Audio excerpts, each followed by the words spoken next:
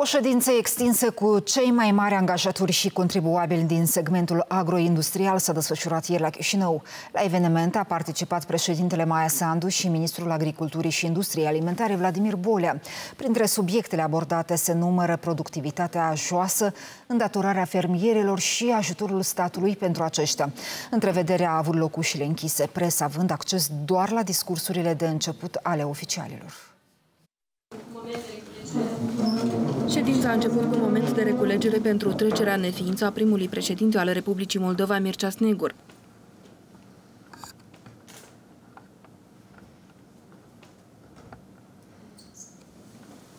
Mai apoi, cuvânt a luat șeful statului Maia Sandu, care i-a încurajat pe agricultori să-și îmbunătățească activitatea.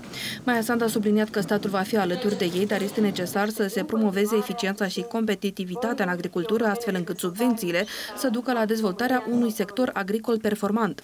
Subvențiile oferite agricultorilor trebuie să încurajeze sporirea competitivității produselor agricole, nu să continue obiceiul prost de a risipi banii publici fără rezultat. Trebuie să înțelegem un lucru, subvențiile agricole nu sunt un program de protecție socială, avem și protecție uh, socială, asta este pentru o altă categorie de cetățeni. Subvențiile nu pot acoperi greșeli de planificare, datorii sau uh, procurări care nu au nicio legătură cu uh, dezvoltarea sectorului agricol. Subvențiile trebuie să fie despre agricultură eficientă, despre agricultură performantă. Pentru sporirea productivității, ministrul Bolea i-a îndemnat pe agricultori să-și reorienteze modul de producere a materiei prime și să preia modelele altor țări. Și scopul este ca pe masa cetățenilor din Republica Moldova, noi ca minister să garantăm că vor fi pâinea, brânza, untul, produsele de bază pe care cetățenii noștri mănânc să fie autohtone, de calitate și la prețuri mici. Pentru asta se dă subvențiile din partea noastră. Să reducem din costurile agricultorilor ca producția care ajunge pe masa cetățeanului să nu depindă atât de mult de fluctuațiile majore a prețurilor pe piețele mondiale și multe alte lucruri. Ședința a continuat fără reprezentanții presei. La finalul acestei, agricultorii ne-au spus că printre subiectele abordate se numără cel privind cerealele ucrainene care ne tranzitează teritoriul sau includerea în subvenții și altor cheltuieli. Vine o producție din partea Ucrainei cu prețuri căzute și este vorba că el, ei exporte prin țara noastră în alte țări, dar totuși o parte de producție rămâne aici. Și noi, noi avem probleme. Iar e făcut niște greșeli de gafe de la minister în ce condiții? Pentru a face o, tehnică, pentru a face o agricultură performantă, ce se primește?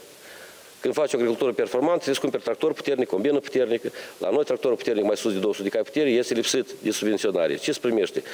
Noi subvenționăm acei care, cumpără, care nu plătesc impozite și cumpără tractoare sovietice, MTZ-uri, belorusuri, dacă și cumpără acolo, dar ăștia care cumpără și fac uh, agricultură bună, adică tu faci contractor în loc de patru, el nu primește subvenții. Cum noi vrem să dezvoltăm Bravura? Atunci, dacă, dacă, dacă guvernul trimite să cumpărăm căruți... La o conferință de presă susținută după întrevederea cu fermierii, ministrul agriculturii a spus că vor fi analizate soluții optime pentru fiecare propunere în parte. Mi-am notat per total 41 uh, de propuneri din partea agricultorilor care le pot împărți în câteva capitole mari Vorbim despre necesitatea elaborării unui plan de introducere ulterioară a subvenționării per hectar, după care vorbim despre contract despre problematica înregistrată de către ei de-a lungul anilor în modelul de înregistrare a terenurilor la primărie, la ASP și o să venim soluții și cu în acest sens.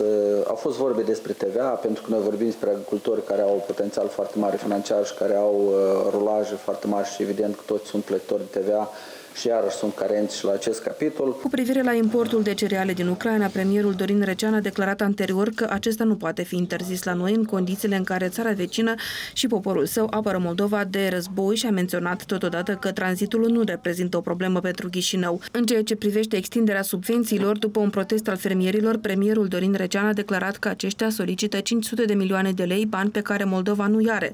În august, guvernul a decis să aloce 200 de milioane de lei pentru sprijinirea agricultorilor afectați de diverse crize în 2022.